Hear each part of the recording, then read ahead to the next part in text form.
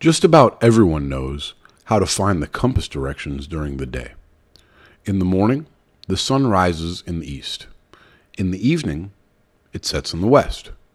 But how can one determine the compass directions after the sun has set? On any night with a waning, waxing, or crescent moon, it's simple. Since we know that the moon is illuminated by the sun, the same technique applies as it does during the day. First, all we have to do is draw an imaginary line between the boundary between the moon's illuminated side and that which is in shadow. Then simply draw an imaginary line perpendicularly to the horizon.